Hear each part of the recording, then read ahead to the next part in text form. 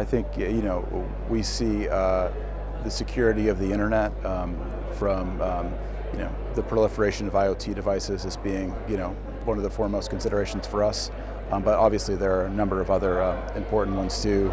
You know, privacy, uh, internet access um, for you know for all the world's citizens um, and things like that. But for for us as a company, uh, it's the security of the internet.